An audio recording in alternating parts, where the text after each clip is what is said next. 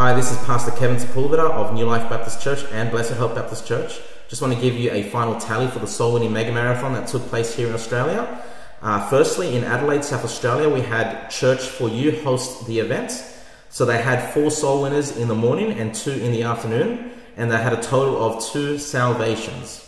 Now, if you're from the Adelaide area and you're looking for an independent fundamental Baptist church that's actually teaching from the King James Bible, is sound on the gospel, and actually doing the work, then I would recommend go and check them out. The pastor, his name is Pastor Andrew Craig.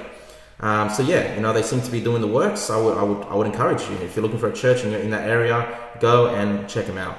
Next, the Sunshine Coast, we have New Life Baptist Church.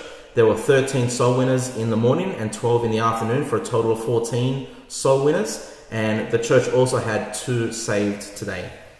And then in Sydney, we've got Blessed Hope Baptist Church. We had 14 soul winners in the morning, 13 in the afternoon, for a total of 17 soul winners, and there were 10 souls saved today in Sydney.